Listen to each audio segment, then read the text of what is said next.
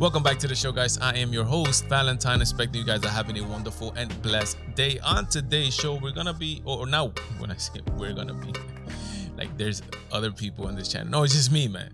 I'm going to be giving you my opinion on the whole Cardi B debacle, right? The whole Cardi B situation that's going on. Um, and Cardi B and obviously Candace Owens when they are uh, having this Twitter war, blah blah blah. I'm just gonna give you my highlights of what I think are the funniest, I guess, most important point. Um, to be honest, Cardi B cannot enter the same room as Candace Owens politically at all. We're talking about, and she has proven to be somewhat illiterate um, when she speaks and she says, um, I'm gonna put you guys the video where she uh, says uh, politics and that um, Candace Owens has offered her two hundred and fifty thousand dollars to debate her or go on her show, whatever it is, and Cardi B has rejected. Why? In my opinion, I think she's scared and she knows she Cardi B's not that dumb and she's gonna go, somewhere where they are going to literally massacre her. To be honest, the day that if that ever happens, Cardi B and Candace Owens in the same room, I think they're gonna have to put Cardi B behind a some type of protection or something like that because Cardi B is not gonna be able to control to, control herself in the slaughtering that uh Candace Owens is gonna give her. And she might literally attack Candace Owens. That's the only thing that I really fear. But let me let me give you let me play this video for you. That way you see that Candace Owens offers Cardi B two hundred and fifty thousand dollars. You've been antagonizing me for years, and you claim that you antagonize me because I stick my nose in politics. Because a, a woman like me that pay taxes, that live in a country that continuously see injustice, have a voice that bothers you so much. Everybody can have a voice. At the end of the day, Candace, you've been trying to sit down with me for like a year. You even offered me $250,000. Anybody that justifies the death of George Floyd, I don't want to talk to. So obviously, as you guys saw, this is legit. It's coming from Cardi B's mouth that she got offered two hundred fifty thousand from Candace Owens. But again, she enters the political arena and she thinks she's gonna be exempt from criticism in politics. Of course not.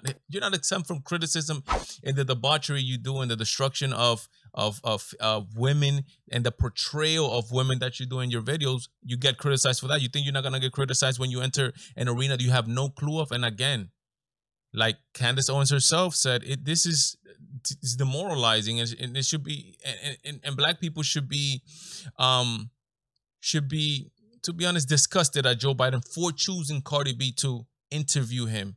He got offered by Chris Wallace. He denied. You know why? Because he's gonna get challenged on his position, and he doesn't want that. He want little lob ups that he could hit out the park with little stupid question. But look, look at look at Cardi B saying at, at an interview like how is this something that is why would you choose this person to make you look like a fool? Literally i mean this is just insane. Look at this. I didn't even notice. This is the interview that cardi b did a while back. But look at her saying her little catch thing bird sounding. I mean this is just this is not this doesn't seem right in in in, in, in to, to be honest. Look at this.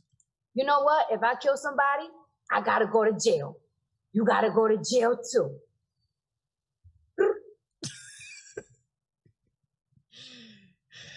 Cardi B, C- Cardi B is is a a direct result of the public school system in the United States, in particular New York.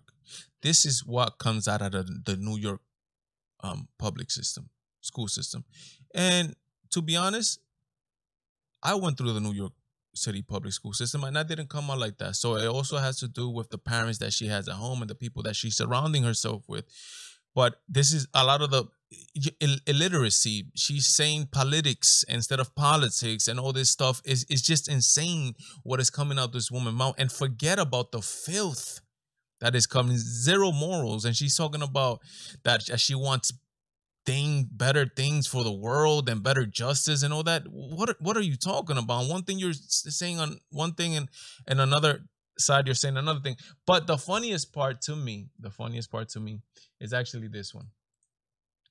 Is actually Candace Owens um mocking Cardi. Well, not, I, I'm, not, I'm again. I'm not for the mocking. I'm just. I'm all for the just how funny it sounds and how she's trying to impersonate Cardi B. And I actually, I think she does a good job. L- listen to this. People don't understand. I've been doing these politics for a long time, and Candace Owens want to step to me and say that I have been doing this. You don't even noticing it. I got all. The, I got the number one song.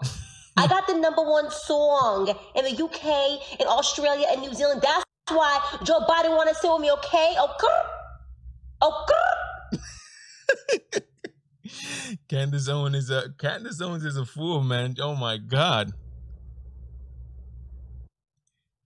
Yo, to be honest, man, and, and yo, Candace Owens kind of took it to Cardi B, to be honest, man.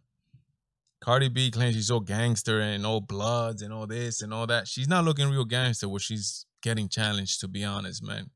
Candace Owens showed the little gangster in, inside of her. Do you guys agree? Let me know in the comments down below, guys. Remember, we have a live calling show every Friday, 8 to 9 p.m. Eastern, where I take your live in calls. When you um subscribe to the channel, first of all, thank you very much. But make sure to turn on the notification bell because if not, you will not get notified when I upload a video. Share the content with people that you think uh, are gonna appreciate it. And remember that we're trying to get to 1,000 subscribers, guys. Yes, we're trying to do that, and we're gonna make it happen pretty soon.